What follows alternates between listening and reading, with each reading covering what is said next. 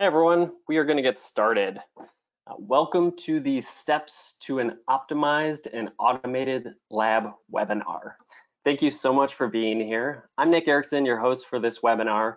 Today I'm joined by Matt Mahier, the Product Manager for Instron's Engineered Solutions. In this role, Matt works with customers across a wide spectrum of industries that are looking to improve some aspect of their testing process, whether it be safety, efficiency, throughput, repeatability, or some combination of the above.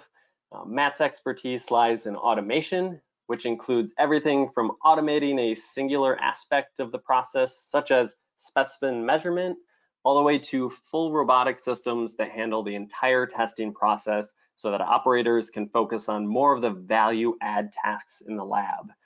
After Matt's presentation, he'll be addressing some of the questions that come in so feel free to send those in as we go along. With that said, I'm going to turn things over to Matt. Hi, everyone.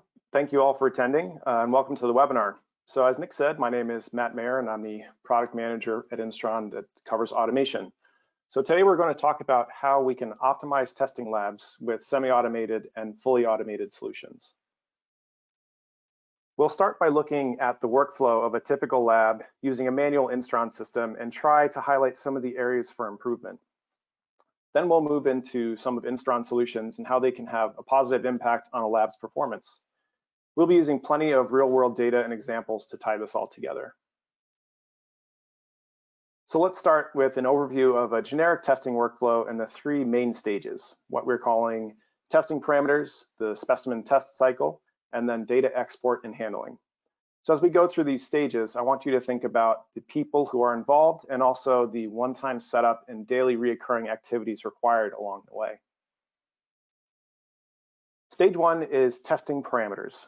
This involves things like high-level setup of test methods to ensure compliance with international or company standards, and then also the daily tasks of choosing the appropriate test method or entering specimen information like batch identifiers, lot numbers, and tolerances into the software. This typically involves both lab managers and operators. Next is stage two, the specimen test cycle. This is where the operator performs the actual test from dimensional measurement, loading the specimen, extensometer attachment, the test itself, and then removing the specimen when the test is complete. In most cases, the actual time the specimen is under test, that orange block above, is not affected by the test equipment being used, but the time taken by each of the other steps, all the ones in blue, will vary depending on the testing frame and accessories. The final stage, data export and handling, involves three different types of people and has substantial one-time and reoccurring costs.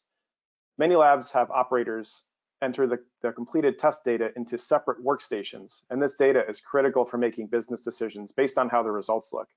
This can be an incredibly inefficient part of the process. So let's break down the reoccurring activities that are part of these stages.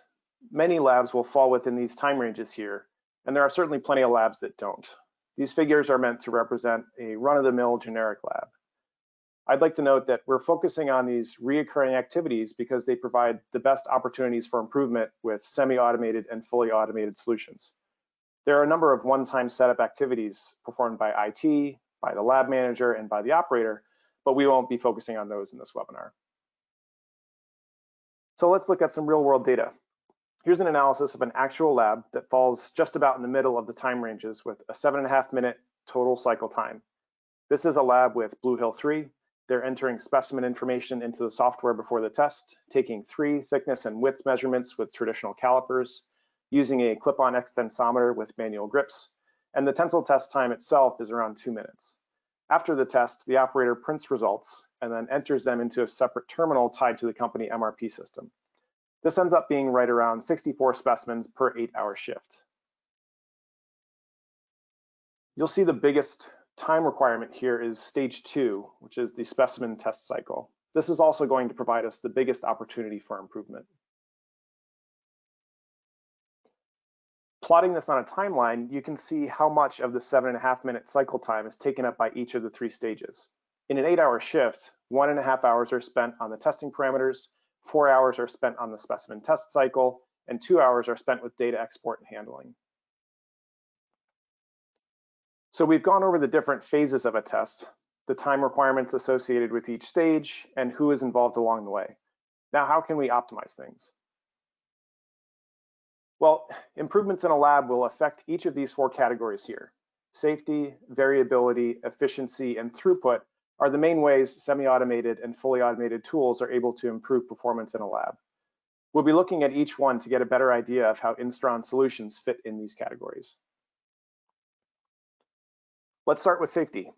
Over the past decade especially, there's been a huge focus on safety in labs, and rightfully so.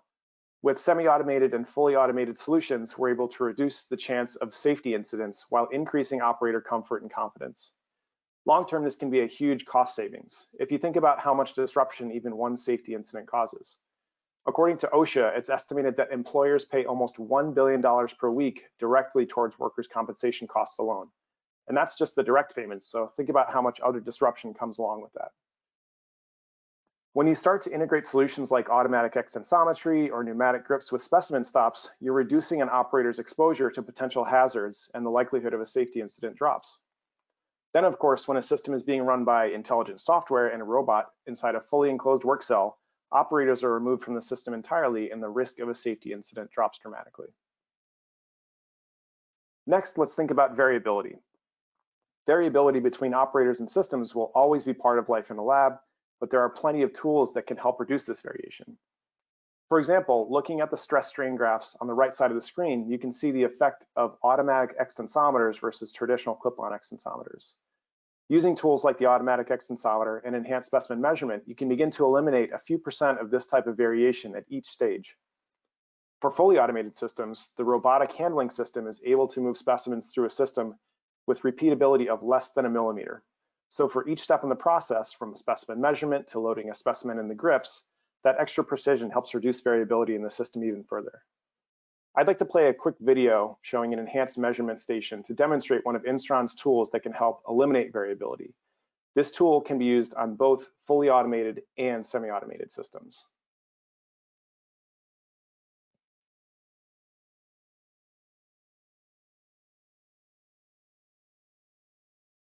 What you're seeing here is a horizontal specimen measurement device that is part of a fully automated work cell.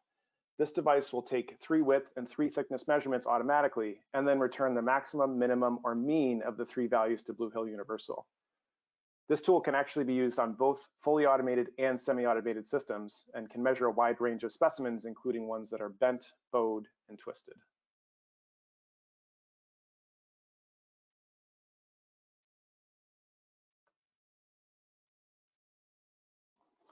So the next theme is efficiency. And this is one of the benefits that often gets overlooked. Labs are able to free up operators from time that would typically be spent directly in front of an Instron system, allowing them to perform other value-added tasks, including things like specimen preparation, analyzing results, or writing reports.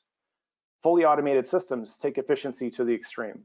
Operators are only needed to barcode specimens and then load them into the system, which typically takes around one hour per eight hour shift. The time gained is incredible and the return on investment for fully automated systems presents a much stronger case than one might initially think. So let's go back to that initial lab we talked about and plug in some real numbers. Over an eight hour shift, the operator's time requirement to test the same number of specimens is reduced to five hours with semi-automated solutions like the automatic extensometer, an enhanced specimen measurement device, and pneumatic grips. With a fully automated system, you're down to just one hour 12.5% of the initial time requirement.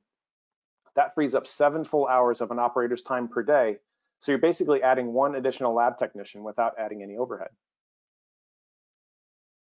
To put that into dollars and cents, let's just use a nice round, fully burdened labor rate of $100 per hour. With 2,000 working hours per year, operating a manual system costs $200,000 in labor.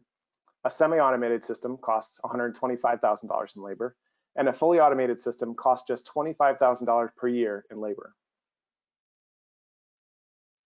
The final category of lab improvement is throughput. This is typically one of the first things that comes to mind when any type of automation, automated solution is mentioned. The number of specimens a lab or a single frame can test per day will increase as labs implement these tools and solutions we've been discussing. One of the ways we achieve this is with automated solutions is what is called concurrent operation. Concurrent operation is where the automated system makes sure that the test specimens are present at each station, keeping the system occupied and multitasking while decreasing idle time.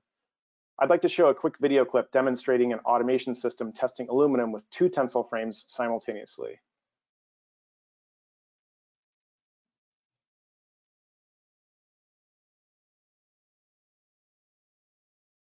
Here you're seeing a system with one robot that is feeding two tensile frames, essentially doubling the testing throughput with all of the other advantages that full automation brings. This system is also using the AVE2 automatic non-contacting extensometer on both frames, which in this case is capturing data to calculate R value and N value. This is a great example of how advanced solutions can increase testing throughput in a lab.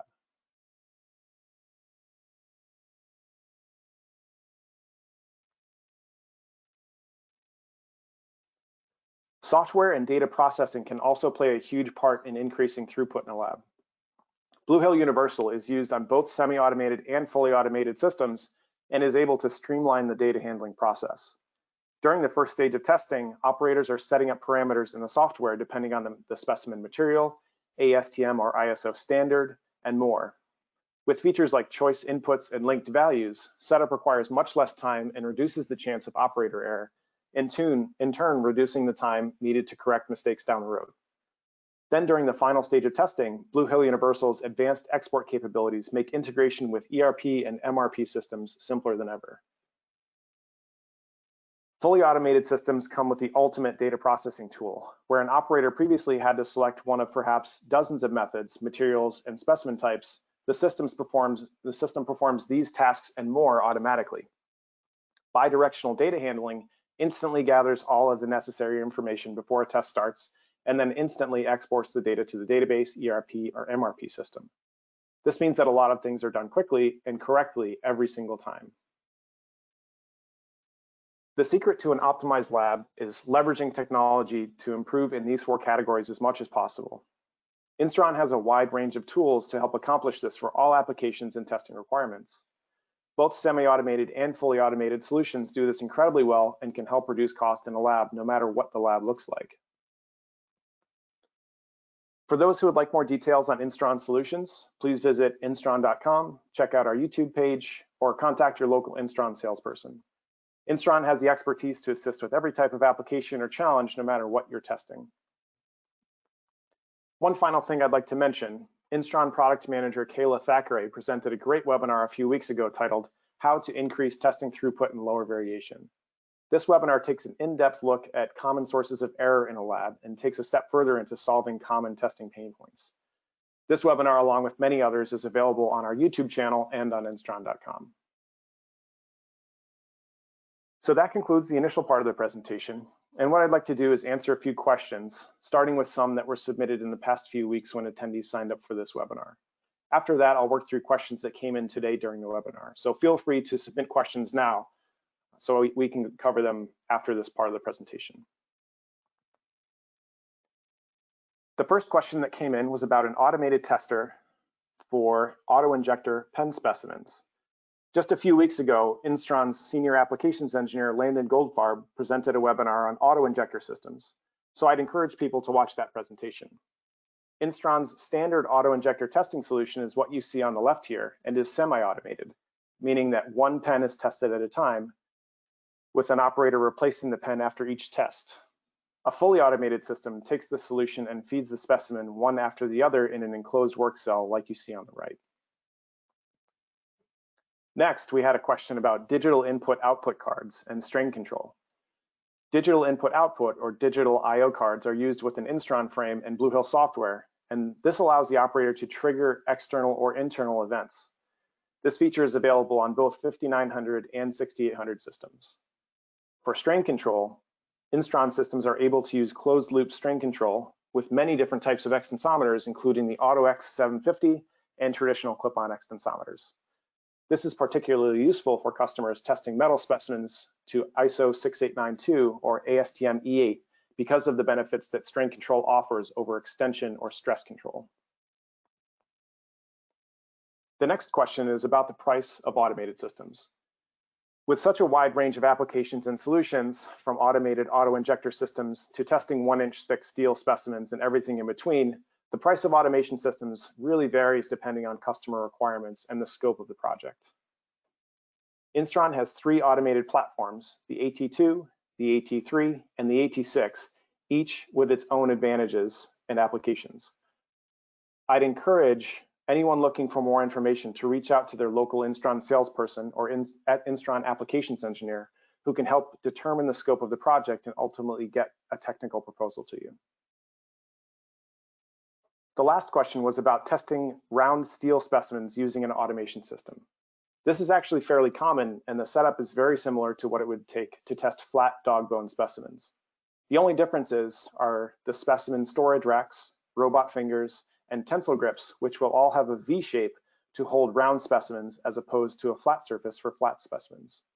Aside from that, testing round specimens or flat dog bone specimens is essentially the same. That's it for the questions we had leading up to the webinar today, and it doesn't look like there are any additional ones in the queue right now.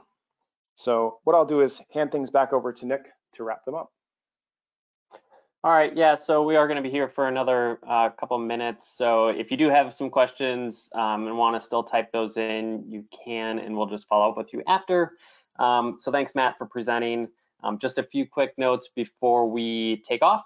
Um, today's recording will be available on our YouTube channel in just a short while. Uh, so each of you will receive an email with a link to the recording and Matt's slide deck. Uh, next week, we actually have two webinars scheduled. Uh, first up on Tuesday, Stephanie Williams, one of our senior application engineers on our drop tower team, will be here to discuss the simplicity of Bluehill Impact testing software and how it can increase your lab's efficiency and throughput for impact testing. And then on Thursday, Mike Boyd, a senior application engineer from our High Force applications team, will be here to discuss uh, the latest version of ASTM A370-19, uh, including common challenges and reviewing what's changed. Uh, you can find a, a, link to sign up on instron.com.